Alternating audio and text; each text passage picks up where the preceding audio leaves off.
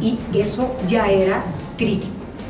Y la infraestructura hospitalaria y el material de trabajo, el equipamiento cada vez más desgastado que tampoco se atendía hace tres años.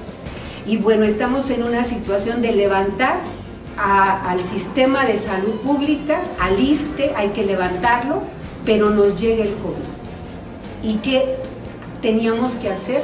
Pues precisamente la reconversión hospitalaria, porque no había